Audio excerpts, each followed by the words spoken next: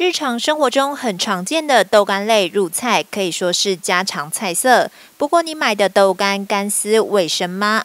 台北市卫生局日前就抽验传统市场、超市、餐饮店等市售豆制品，就发现这五件产品不合规定。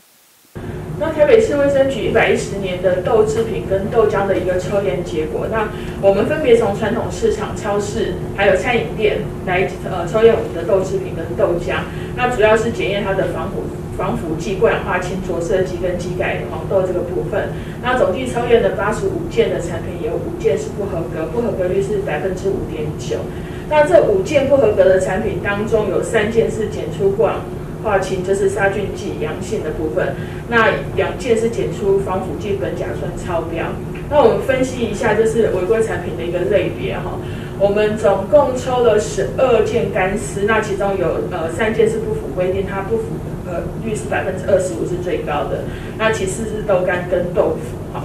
那这些产品的话，其实呃在台北市的市场部分已经要求他们呃先做下架。那也追溯到来源都是外县市，所以我们也通告外县市这边就生产端这边进行相关的确认跟管理哈。卫生局呼吁业者应秉持职业道德，勿滥用食品添加物，尽可能冷藏保存于七度 C 以下。并采先进先出原则，也提醒民众在选购豆制品时，对于异常白皙或偏离传统色泽太多的食品，要提高警觉，以减少购买到违规食品的机会，并优先选择完整包装产品，掌握完整的产品讯息。烹调时可以用温水浸泡或穿烫，减少食品添加物的残留。记者温俊台北报道。